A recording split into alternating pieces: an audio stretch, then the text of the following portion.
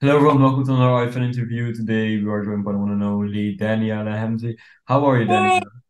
I'm doing very, very well. Thank you very much for asking. Well, it's nice to have you here. And let's just go immediately into the spicy questions first. So, with the whole incident going on, you probably know which one I'm referring to. How have Yeah, you, how have you been dealing with it behind the scenes? Have you been getting any lawsuits? Have you been uh, going through stuff? How, how, how has it been going?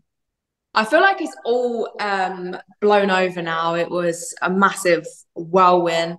Um, obviously, my celebration, I flashed my boobs and Mm. it blew the entire world up. But what a lot of people didn't know is that it was actually planned um, if I was to win. Um, the promoter of Kingpyn actually presented me with the idea. Um, he sent me a video of women flashing their boobs on WhatsApp and was like, you know, I think you should do it. Fuck it literally gave me full permission to do it. Um, he even sent me a voice note. I made a whole YouTube video about it.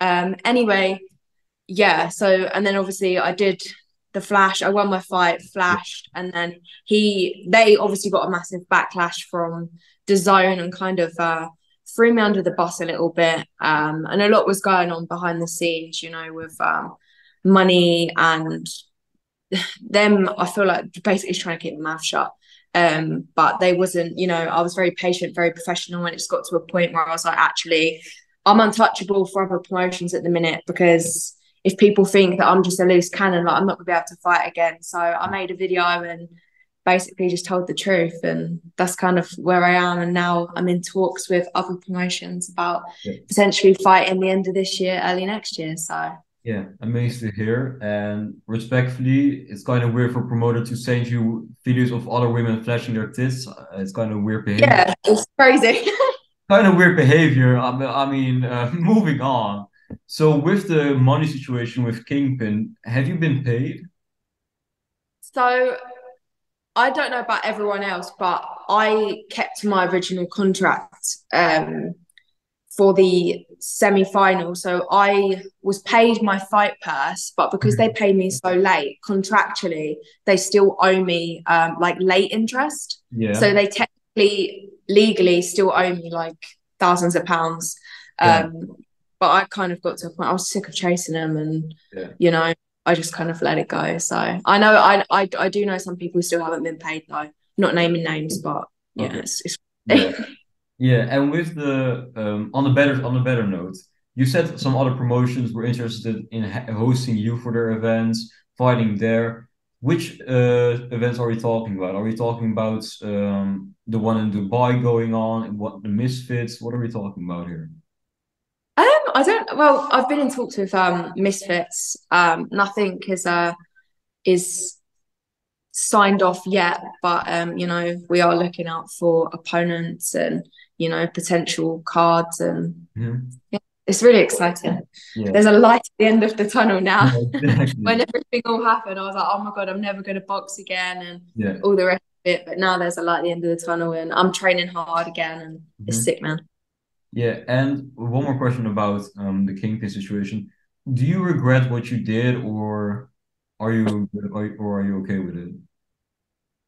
In terms of the actual action, I don't regret it at all. Okay. Um, I know there's a lot of positivity. There's a lot of like respect to you, Daniella. Go for it, fuck it. And then I know I've obviously had a lot of backlash as well because people were saying that I'm disrespecting the sport. Um, I have my own opinions on that. You know, I've Yeah. always said that I believe professional boxing and YouTube boxing should be completely separate. And Mhm. I'm not trying to be a professional boxer.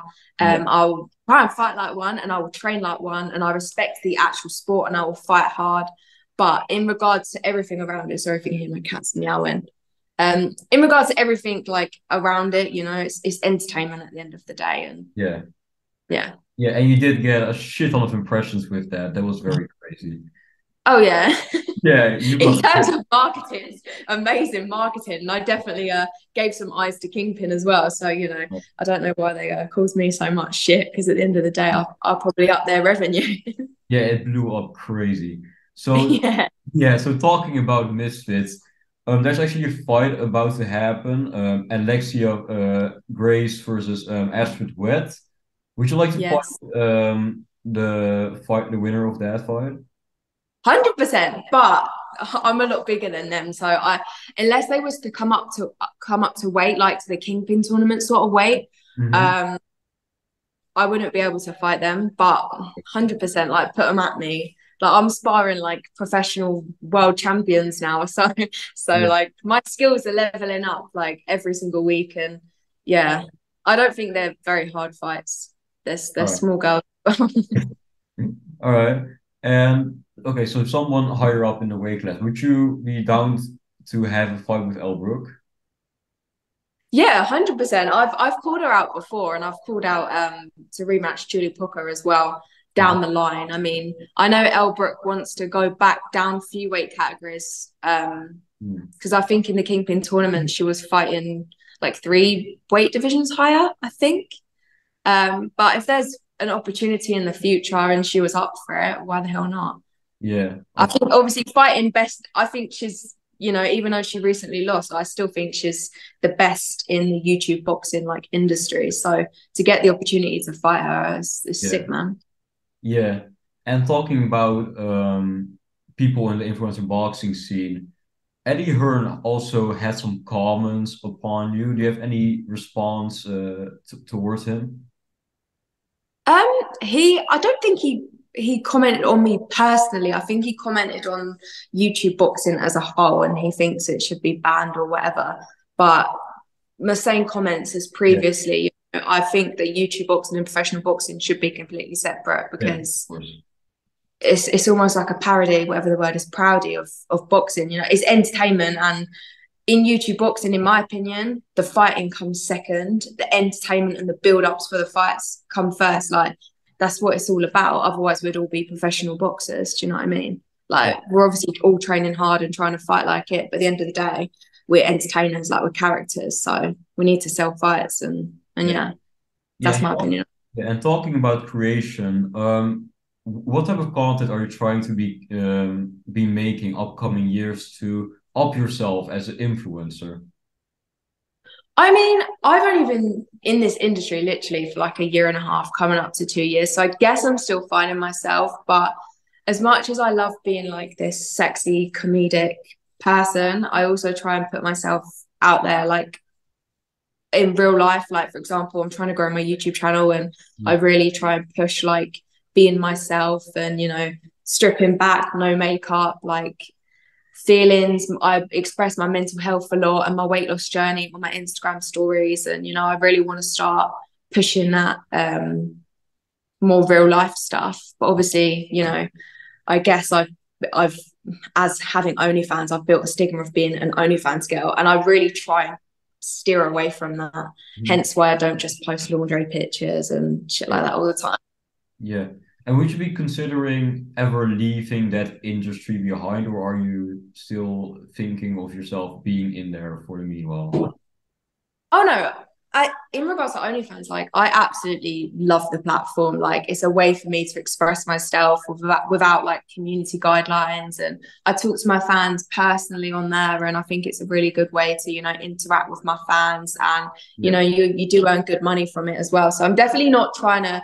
I would like we're OnlyFans. That's not the case at all. But I know that the second you have OnlyFans and people find out you have OnlyFans, like if you read news articles about me, it's OnlyFans star Daniella. And like I really want to try and steer away from that because I'm way more than that. Like I'm not just an OnlyFans girl. Yeah. Sorry, my cat. Yeah. Um, I I do way more. Like um, I have a crazy lifestyle, and you mm. know, like an inspiring weight loss story, and I'm super passionate about health and fitness as well. So, yeah. Yeah, and you have a sick garden. My garden. Yeah, very sick. fucking, huge. fucking huge. so talking about influencer boxing again, um, do you see yourself fighting for much longer in this scene? Hundred percent. I at least at least the next couple of years. You know, like I've I've just got my first win, and um, I feel like that was definitely overshadowed. Well, especially I feel like my world got rained on when the whole like everything was going on with Kingpyn. So I definitely want to box again. You know, I mm-hmm. finally got my first win, and it would be cool to build my record up a little bit. Maybe one day get an opportunity to fight for like a title, and and yeah, man, I love it. I love everything about it, like the lights, the cameras, the the the drama, like the build up, and then the reward at the end for you know all the discipline and hard work for the boxing. Like I love it. Yeah, and with Misfits about to enter its um, second uh, year, actually, uh, who would you like to fight next year? What, what's your hit list, and how many times would you like to fight? Ooh, there's a few. There's a few people. I think it's hard because I don't know how like people's weights. hmm So you know, um, I would love to fight Elle Brooke one day. I think Fangs would be a good fight. You know, she she wants her redemption fight. She agreed to fight me. hmm Um, Carla Jade, I'd love to fight her. Um, yeah, man. To be honest, I'm I'm quite open to to not fighting anyone. Like if it if it works, like if it's the right match for me, and you know, any opponent I get, I present to my coach, and then he'll be like, "Yes, that's a good strategy. No, that's not." And yeah, man. Yeah. And um, about your fights, do, do you did you feel nervous when entering the ring? Did, did you have like uh, goosebumps going into your fight? I wouldn't say goosebumps. It's really weird because my first fight, I felt less nervous, but I got absolutely battered. And then my second fight, I felt like I had much more of a chance of winning, but I was way more nervous. But I guess I wanted it a lot more like coming away with a second loss. That's kind Yeah. of like I just didn't want that. And that's why I did give it my all in my second fight. And I feel like I really needed my first fight to get like get a proper battering to know how it feels and get the idea of the environment and then come into my next fight and give it my all. Yeah, amazing to hear. And with all of that said, do you have any last message to the viewers, maybe future opponents to end the interview with?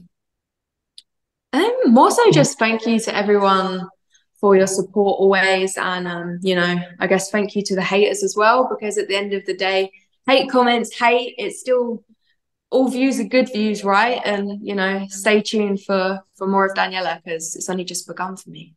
All right. Thank you for joining this interview. It was a pleasure to have you here. And Thank you. we want, we want to thank the viewers for watching this interview, and we'll see you guys at the next one. See ya. All right.